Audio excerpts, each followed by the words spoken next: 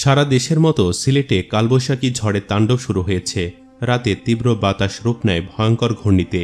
তাতে লণ্ডভণ্ড হয়ে যায় সিলেট শহরের গাছপালা বাড়িঘর।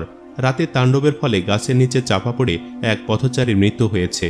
সকালে এস এমপির জালালাবাদ থানার ভারপ্রাপ্ত কর্মকর্তা নাজমুল হুদা খান এ তথ্য নিশ্চিত করেছেন।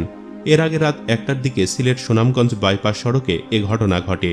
এ সময় সংবাদ পেয়ে ফায়ার সার্ভিস, সিভিল ডিফেন্সের একটি টিম গা সরিয়ে মরদেহটি উদ্ধার করে, তবে নিহতের পরিচয় নিশ্চিত হওয়া যায়নি। ফায়ার সার্ভিস সিলেটের senior station officer Belal Hossain বলেন, গভীর রাতে কাল বৈশাখী ঝড়ে গাছ ভেঙে ওই পথচারীর ওপর পড়ে। এ সময় ঘটনাস্থলে তার মৃত্যু হয়। তাৎক্ষণিক মরদেহ উদ্ধার করা হয়, তবে নিহতের পরিচয় পাওয়া যায়নি।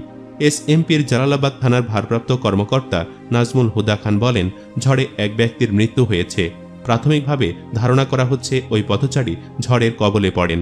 এ সময় তার উপর গাছ ভেঙে পড়লে ঘটনাস্থলে মারা যান তিনি। ফায়ার সার্ভিসের কর্মীরা গাছ সরানোর পর নিহতের মরদেহ উদ্ধার করা হয়।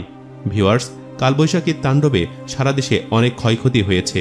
দেশের বিভিন্ন জায়গায় বাড়ি, ঘরসহ ফসলের ব্যাপক ক্ষতি হয়েছে বলে খবর পাওয়া যায়।